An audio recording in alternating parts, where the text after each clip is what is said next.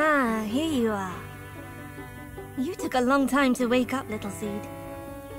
If the Guardians were here, they'd give you serious reprimand. If you sleep too much, one day you'll lose yourself in your dreams and never wake up again. Yeah, that's exactly what the Guardians would say.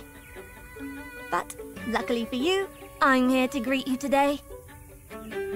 Much younger than them, so I won't lecture you. hey, our second guest has arrived earlier than expected. Let's see who it is. Little Seed, in honor of this special day, may I introduce your present? Oh, a wild fox. Ugh, it's better than nothing, I suppose. I would have preferred a smarter and better looking animal. A wolf, maybe. Still, you know what? It doesn't matter. We'll make do with this one.